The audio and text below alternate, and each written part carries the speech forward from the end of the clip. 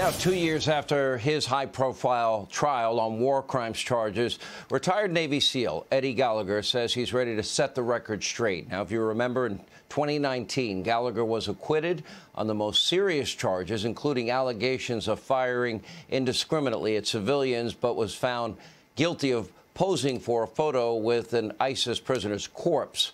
Well, his brand new book, Amazon.com, Hannity.com, bookstores everywhere. It's called The Man in the Arena, offers new details, his side of the story.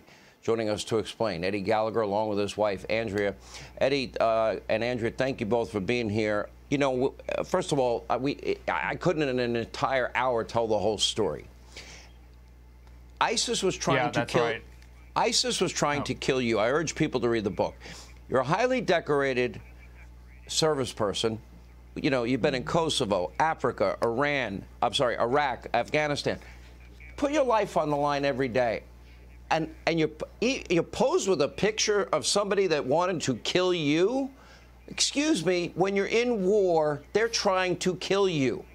I never, you know, I never understood that part. What do you want the American people to know that they don't know that the media mob falsely told them?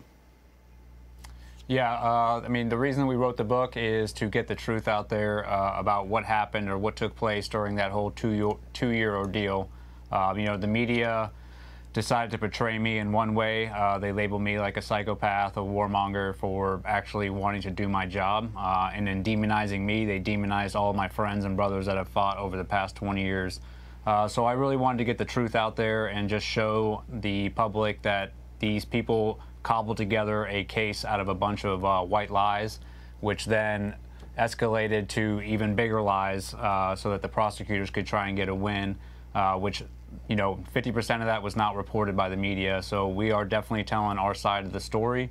And, uh, you know, we put in QR codes in the book so you'll be able to uh, listen to the trial audio, watch all the NCIS interviews, um, see all the evidence so you can you know base your decision at the end. Um, we wanted to be as transparent as possible, unlike the media and the prosecutors were during our whole deal. Andrea, you have to live through this hell, um, not knowing if he's ever going to get out of jail. Um, meanwhile, you know, we put our national treasure in harm's way and send them into war zones to fight. I thought the idea if we're going to fight a war is to win the war, then you have rules of engagement that prevent people from trying to win. Uh, how was it from your end and, until finally there was an admission that somebody else did it, not Eddie? Yeah, well, you know, when you're a spouse of a naval special operator, your whole job is to support them going to back to back to back combat deployments like Eddie did. And when we were in the wake of this and we were realizing that in fact, no one was coming to our aid, not the command at Naval Special Warfare. Um, and we were against the full weight of the government and then what turned out to be the mainstream media that vilified him and our family. We really felt that we had to do something more in order to fight for him, fight for his freedom. So we really took, you know, advantage of everything that we're granted as Americans, the right to due process, and we fought for those rights for him. He did actually get the ability to be freed because of President Trump. So he was in jail for nine and a half months. Our children were taken out at gunpoint in a home raid that was conducted on our home. Um, it's really a homegrown terror situation that we suffered, and now we're telling that side of the story that very few people know what all we went through in order to just fight for him and get him the chance to have a fair trial. And Eddie, I, I, and both of you, I would say, I urge people to get this book because, you know, you spent nine months of your life in jail and you were putting your life at risk for your country.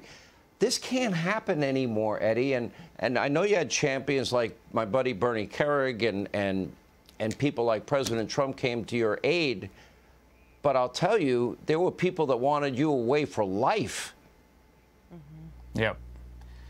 Yeah, you're What's, right. You know, this this can't and it shouldn't happen, uh, mm-hmm. but it did, and that's the reason we're we're doing the tell-all book and just showing the American people exactly how they treat our warfighters. I, I believe that we've seen it in the past year how we treat our, our law enforcement.